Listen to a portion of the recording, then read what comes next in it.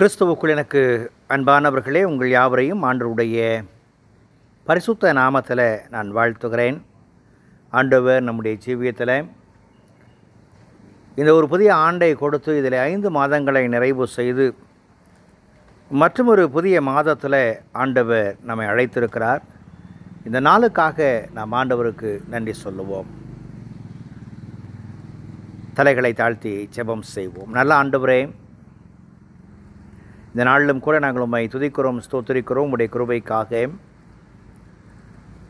போராட்டங்கள் இழப்புகள் பிரச்சனைகள் மனக்குமுறல்கள் இவற்றின் மத்தியில் நீர் போதுமானவராக இருந்து எங்களை தாங்கின தயவுக்காய் ஸ்தோத்திரிக்கிறோம்.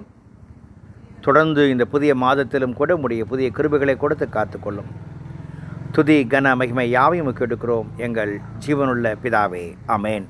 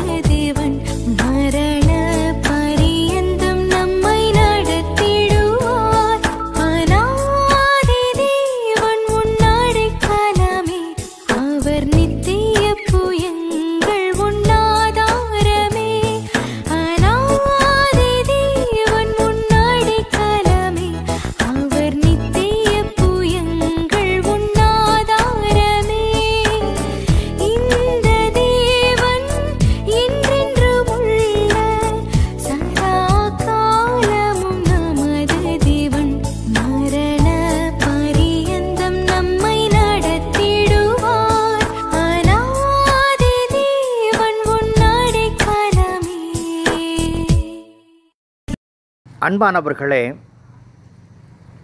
இந்த புதிய மாதத்தில் நாம் அடியெடுத்து வைக்கும் பொழுது நம்முடைய சிந்தனைகள் சமூகத்தோடு கூட நாம் இணைத்து பார்க்கும் பொழுது ஏறக்குறைய மூன்று மாதங்களாக பல்வேறு விதமான நெருக்கடிகள் போராட்டங்கள் பிரச்சனைகள் இவற்றிலே நாம் எப்படி பாதுகாக்கப்பட்டோம் என்று யோசிக்கிற மக்களாகவும் தொடர்ந்து இறைவனுடைய கரம் நன்மையாக இருக்க வேண்டும் என்று சொல்லி விரும்புகிற மக்களாகவும் நாம் காணப்படுகிறோம்.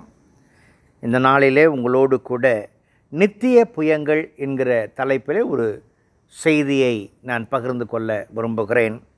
எவர்லாஸ்டிங் ஆம் கடவுள் தம்முடைய பலம் பொருந்திய நமக்கு நித்தியத்தை தரக்கூடிய ஒரு கரத்தை உடையவர். அதை நாம் சரியாய் புரிந்து கொள்ளும் பொழுது அந்த கரத்தின் நடத்துதல் மேன்மையான காரியங்களை நமக்கு கொண்டு வரும் என்பதில் மாற்றமில்லை. ஒரு உதாரணத்தோடு ஆரம்பிக்கிறேன். ஒரு பள்ளியில் ஒரு ஆசிரியர் பாடம் நடத்த வந்தார். மாணவர்கள் எல்லாவற்றையும் கடினம் கடினம் என்று சொன்னதை கண்டு அவர் ஒரு மாணவனிடத்தில் ஒரு வெறுமையாக்கப்பட்ட ஒரு டம்ளரை கையில் கொடுத்து அந்த கையை நீட்டி அந்த டம்ளரை பிடித்து கொண்டே இரு என்று சொன்னார். அவன் கையை நீட்டி பிடித்து கொண்டே இருந்தான். நேரம் ஆக ஆக அவனுடைய கை சற்று தாழ்ந்தது. ஆசிரியர் கேட்டார் பாரமாக இருக்கிறதா? அந்த டம்ளர் உனக்கு வெயிட்டாக இருக்கிறதா? என்று சொன்னார். அவன் சொன்னான் இல்லை என்றான். ஏன் உன் கை கீழே இறங்குகிறது? என்று சொன்னார். எனக்கு கை வலிக்கிறது என்று சொன்னார். வெறும் காலி டம்ளரை சற்று நேரம் கூடுதலாக பிடிக்கும் பொழுது அந்த கை தாழ்ந்து வரும் பொழுது அது வேதனை உண்டாக்குகிறது. ஆகவே தாழ்கிறது. இது மனுஷனுடைய கரங்கள் இப்படித்தான் காணப்படுகிறது. ஆனால் இறைவனுடைய கரத்துக்கும் மனுஷனுடைய கரத்துக்கும் வேறுபாடு உண்டு என்பதை நாம் புரிந்து கொள்ளும் பொழுது என் தேவனுடைய கரம் நன்மையான விதங்களில் வரும் பொழுது அவற்றிலே நாம் நிறைவுகளை காண்கிற மக்களாக காணப்படுகிறோம். உபாகமத்தின் புஸ்தகம் முப்பத்து மூன்றாம் அதிகாரம் இருபத்து ஏழாவது வசனம் இப்படி சொல்லுகிறது. அனாதி தேவன் உனக்கு அடைக்கலம் அவர் நித்திய புயங்கள் உனக்கு ஆதாரம். நமக்கு ஒரு தேவன் உண்டு. அவர் நேற்றும் இன்றும் என்றும் மாறாதவர். அவர்தான் நம்முடைய வாழ்க்கையின் அடைக்கலம். அவருடைய செட்டையின் மறைவிலே தான் நாம் நிறைவுகளை காண முடியும். என் ஆண்டு உள்ளத்திலே நம்முடைய பற்றுதலை சொல்லும் பொழுதெல்லாம் நாம் அதைத்தான் நாம் காண்கிற மக்களாய் காணப்படுகிறோம். வீட்டில் கோழி வளர்க்கிற பழக்கம் உண்டு. அந்த கோழி முட்டை வைத்து அடை வைத்து குஞ்சு பொரிக்கும் அந்த குஞ்சோடு கூட அந்த தாய்க்கோழி மேய்ந்து கொண்டிருக்கும் பொழுது மேலே கழுந்து கழுகு பறப்பதை பார்த்த மாத்திரத்தில் இந்த கோழி ஒரு சப்தம் கொடுக்கும். கொடுத்த மாத்திரத்தில் இந்த கோழி குஞ்சுகள் அனைத்தும் அந்த தாய் கோழியினுடைய செட்டையின் மறைவில் தன்னை பாதுகாத்து கொள்ளும்படியாக அது வரும் என்பதில் மாற்றமில்லை. இன்றைக்கும் ஆண்டவர் அனாதி தேவன் நமக்கு அடைக்கலமாக இருக்கும் பொழுது அவருடைய பலம் பொருந்திய சத்துவம் நிறைந்த புயங்கள் நம்முடைய வாழ்வுக்கு ஆதாரமாக காணப்படுகிறது. என் ஆண்டவருடைய கரம் என்னை தேற்றும்படியாக அது காணப்படுகிறது. எதையும் நாம் முழுமையாக பற்ற வேண்டும் என்பதை ஆண்டவர் தெளிவுபடுத்துகிறார். என் ஆண்டவரிடத்தில் நான் வரும்பொழுது என் ஆண்டவுடைய கரத்தை நம்பி நான் செய்யும் பொழுது என் ஆண்டவர் என்னை சுமக்க ஆயத்தமாக இருக்கிறார் என்பதை நாம் புரிந்து கொள்ளும் பொழுது நாம் அங்கே சரியான அடிச்சுவடுகளில் நாம் தடம் பதிக்க முடியும். ஒரு சுமை ஒரு குழந்தையை தூக்குதல் மற்றவருக்கு உதவி செய்தல் போன்றவை நாம் சற்று நேரத்தில் நாம் செய்து விடுவோம்.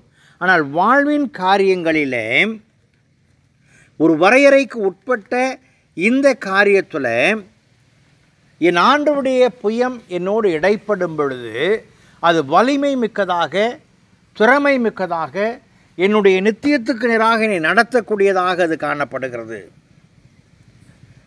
ஆண்டவருடைய கரம் வரை வரையறைக்கு அப்பாற்பட்ட ஒன்றாய் காணப்படுகிறது. இந்த கரம் நன்மை செய்கிற கரம் இது எப்பொழுதும் நம்முடைய வாழ்க்கையின் நிலைப்பாடுகளிலே மேன்மைகளை தருகிற கரம். இந்த கொரோனா வைரஸ் காலங்களில் பல்வேறு காரியங்களில் இடைப்பட்டு ஒன்றும் செய்ய முடியவில்லையே என்று கலங்கி இருக்கும் பொழுது அது நம்முடைய சுய பலத்தையும் சுய சக்தியையும் சார்ந்த ஒன்றாய் காணப்படுகிறது. என் தேவனுடைய கரம் தந்திருக்கிற இந்த தேவனுடைய புயம் தாங்குகிற இந்த புதிய மாதத்தில் இந்த ஜூன் மாதத்தில் நாம் அடியெடுத்து வைக்கும் பொழுது வல்லமையின் கர்த்தர் நன்மையின் வரங்களை கொடுத்து நம்மை ஆசிர்வதிப்பார் நம்மை தாங்குவார் என்பதில் மாற்றமில்லை. ஏசையா தீர்க்கதரிசியின் புஸ்தகம் ஐம்பத்தி ஒன்பதாம் அதிகாரம் முதலாவது வசனம் இப்படி சொல்லுகிறது. ரட்சிக்கக்கூடாதபடிக்கு கர்த்தருடைய கை குறுகவில்லை. மீட்கக்கூடாதபடிக்கு வாழ்வழிக்கக்கூடாதபடிக்கு நன்மை செய்யக்கூடாதபடிக்கு என் தேவனுடைய கரம் குறுகவில்லை. ஏனென்று சொன்னால் அவர் மனிதனை தம்முடைய சாயலாய் உண்டாக்கினார். மனிதனுடைய வாழ்வு மாற்றத்திற்காக தன்னையே கொடுத்தார். தன்னையே கொடுத்த ஆண்டவர் தன் பிள்ளைகள் வாழ்விலே நிறைவுகளை காணும்படியாக அவர்களுக்கான ஆயத்தங்களை அவர் எப்பொழுதும் செய்கிறவராய் காணப்படுகிறார். ஆம் பிரியமானவர்களே இது எவ்வளவு பெரிய உண்மை. என் ஆண்டவர் என்னிடத்தில் இரக்கம் காண்பிப்பதற்கு நான் தகுதியுடையவனா என்று சொல்லி யோசிப்போம் என்று சொன்னால் நிச்சயமாக இல்லை. ஆனால் இந்த தகுதியை இறைவன் கொடுத்து அவர் ரட்சிக்க கூடாதபடிக்கு குறுகின கை உடையவராய் அல்ல ரட்சிக்கும்படிக்கு பலத்த புயங்களை உடையவராக இருந்து அவர் நம்மை அழைக்கிறவராகவும் தேற்றுகிறவராகவும் அவர் காணப்படுகிறார். இன்றைக்கு எதை குறித்து கலக்கம் இருக்கிறது? என்னால் இதை சுமக்க முடியவில்லையே. என்னால் இதை தாங்க முடியவில்லையே. என்னால் இந்த மாதத்தை கடந்து போக முடியவில்லையே என்கிற ஏக்கங்கள் உண்டா? கல்லூரிகள் எப்பொழுது திறக்கும்? பள்ளிகள் எப்பொழுது திறக்கும்? வேலை வாய்ப்பு எப்படி கிடைக்கும்? திருமண காரியங்கள் எப்பொழுது நடக்கும் என்கிற கலக்கங்கள் உண்டா? வேதம் அழகாக சொல்லுகிறது அனாதி தேவன் உனக்கு அடைக்கலம். அவருடைய நித்திய புயங்கள் உனக்கு ஆதாரம். என் ஆண்டுடைய புயங்கள் ஆதாரமாக இருக்கும் பொழுது இவையெல்லாவற்றையும் என் தேவன் சுமக்க ஆயத்தமாக இருக்கிறார். இவை எல்லாவற்றையும் என் தேவன் சுமந்து கொண்டு நம்முடைய பாரங்களை இலகுவாக்குவதற்கு அவர் சித்தமாக இருக்கிறார். வேதம் சொல்லுகிறது ஏசையா தீர்க்கதரிசின் புஸ்தகம் நாற்பதாம் அதிகாரம் பதினோராவது வசனத்தில் மெய்ப்பனை போல தமது மந்தையை மேய்ப்பார் ஆட்டிக்குட்டிகளை தமது புயத்திலே சேர்த்து தமது மடியிலே சுமந்து கரவல் ஆடுகளை மெதுவாய் நடத்துவார். என் ஆண்டவர் தன்னுடைய பிள்ளைகளை நடத்துகிற விதம் ஒரு மேய்ப்பெண் எப்படி கரவல் ஆடுகளையும் குட்டிகளையும் சுமந்து கொண்டு அவற்றை பக்குவமாய் நடத்துவானோ அப்படியாய் நடத்துவார் என்று சொல்லுகிறது. ஆகவே இந்த புதிய மாதத்தை குறித்த கலக்கம் இல்லாதபடிக்கு இந்த புதிய மாதத்தில் என் தேவன் பிரச்சனைகள் மத்தியில் என் தேவன் எனக்காக யுத்தம் செய்வார். போராட்டங்கள் மத்தியில் என் தேவன் எனக்காக யுத்தம் செய்வார். மிகப்பெரிய மிகப்பெரிய இறை செய்தியாளர் சொல்லுகிறார் உன் பிரச்சனையை ஆண்டவரிடத்தில் சொல்லாதே. பிரச்சனை இடத்துல உன் தேவன் எவ்வளவு பெரியவர் என்று சொல் என்று சொல்லுகிறார். என் தேவன் பெரியவர் என்பதை பிரச்சனை இடத்துல சொல்லும் பொழுது அந்த பிரச்சனை தம்மிடத்தில் வராதபடிக்கு என் தேவன் காத்து கொள்ளுவார் என்று சொல்லி அல்லது அந்த பிரச்சனை பயந்து நம்மை விட்டு ஓடிவிடும் என்று சொல்லி. பிரியமானவர்களே இறைவன் தந்த இந்த புதிய மாதத்தை சந்திக்கும் பொழுது நம்முடைய காரியங்களின் நிலைகளை நாம் ஒருவிசையாய் சீர்தூக்கி பார்த்து என்னை சுற்றிலும் என்னை சுற்றிலும் எத்தனையோ பிரச்சனைகள் இருக்கலாம். என்னுடைய தனிப்பட்ட வாழ்விலே குடும்ப வாழ்விலே பணியாற்றுகிற இடத்துல சமூகத்தில் எத்தனையோ அவலங்களை கூட நான் சந்திக்கலாம். ஆனால் என்னை சுமக்கிற ஆண்டவர் நித்திய புயங்களை உடைய ஆண்டவர் என்னை கரங்களிலே ஏந்தி கொண்டிருக்கிறார். உள்ளங்கையிலே அவர் என்னை வரைந்திருக்கிறார். ஒரு தாய் தேற்றுவது போல என்னை தேற்றுகிற தேவன் எனக்காக தன் ஸ்தானத்தை விட்டு இறங்கி இங்கே வந்திருக்கிறார். ஆண்டவரே உம்முடைய கரங்களில் உம்முடைய பலத்த புயம் எனக்கு துருகமாக இருக்கிறது என்று சொல்லுகிற நிலை நமக்கு உண்டு என்று சொன்னால் இந்த புதிய மாதம் நமக்கு மிகப்பெரிய ஆசிர்வாதத்தையும் மிகப்பெரிய சமாதானத்தையும் மிகப்பெரிய மகிழ்ச்சியும் கொண்டு வரும் என்பதில் மாற்றமில்லை. நன்றாக தெரியும். அன்னால் தன்னுடைய மன பாரங்களை இறக்கி வைக்க ஆலயத்தில் சென்றால் தன்னுடைய பாரங்களை இறக்கி வைத்தால் அதற்கு பின்பு துக்கமுகமாய் அவள் முகம் காணப்படவில்லை என்று வேதத்தில் வாசிக்கிறோம். இன்றைக்கு நாம் ஆலயத்தில் செல்ல முடியவில்லை ஆராதிக்க முடியவில்லை மன பாரங்களை ஆண்டவரிடத்தில் சொல்ல முடியவில்லை. என் ஆண்டவர் எனக்கு செய்த நன்மைகளை பகிர்ந்து கொள்ள முடியவில்லை. கலக்கங்கள் உண்டு. ஆனால் ஒன்றை நாம் நினைவில் கொள்ளுவோம். அனாதி தேவன் என் அடைக்கலமாக இருக்கிறார். ஆனால் அவருடைய நித்திய புயங்கள் என்னை தாங்கிறது. என்றைக்கு இருந்தாலும் இருக்கிற இடத்துல என் தேவனுடைய வல்லமையை என் தேவனுடைய நாமத்தை நான் பறைசாற்ற முடியும் என்கிற நிலைப்பாடு நமக்கு அவசியமாய் காணப்படுகிறது. புதிய மாதத்தின் ஒவ்வொரு நாட்களும் இறைவனால் நிரப்பப்பட்ட இறை கிருபையினால் நிரப்பப்பட்ட நாட்களாய் காணப்பட தேவன் கிருபை செய்யட்டும். வேதம் சொல்லுகிறது கர்த்தருக்குள் எப்பொழுதும் சந்தோஷமாயிருங்கள். சந்தோஷமாயிருங்கள் என்று மறுபடியும் உங்களுக்கு சொல்லுகிறேன். கவலைகளை மறந்து விடுங்கள் கண்ணீரை துடைத்து விடுங்கள் பலத்த புயத்தை உடையவர் வல்லமையின் புயத்தை உடையவர் சத்துருக்களின் கைக்கு நம்மை நீங்களாக்கின ஆண்டவர் நம்மோடு இருக்கிறார். இஸ்ரவேலின் தேவன் நம்மோடு இருக்கிறார். அந்த நம்பிக்கையில் அடைக்கலமாய் கொண்டிருக்கிற ஆண்டவரிடத்தில் நம்மை தாழ்த்தி ஒப்பு கொடுத்து புதிய மாதத்தை சந்திப்போம். இறைவனுடைய பேரருள் நம்மை தாங்கும். கிறிஸ்து தாமே இந்த வார்த்தைகளை நமக்கு ஆசீர்வதித்து தருவாராக. அமேன் நல்ல ஆண்டவரே இந்த நாளுக்காய் இந்த வேலைக்காய் நன்றி செலுத்துகிறோம். இந்த புதிய மாதத்தை சந்திக்கிறோம். புதிய மாதத்திலே உம்முடைய பேரருளையும் கிருபையும் தாரும். நிறைவான நன்மைகளே நாங்கள் மகிழ்ந்து உம்மை மகைப்படுத்த உதவி செய்யும். உம்முடைய நித்திய புயங்கள் எங்களுக்கு ஆதாரம் என்பதில் மாசு மறுவற்று நம்பிக்கையோடு அடியெடுத்து வைத்து மற்ற மக்களை ஆசிர்வதிக்கவும் மற்ற மக்களுக்கு உம்முடைய நடத்தலை காண்பிக்கவும் கிருவி பாராட்டும். துதி கன மகிமை யாவையும் எடுக்கிறோம் எங்கள் ஜீவனுள்ள பிதாவே ஆமேன்.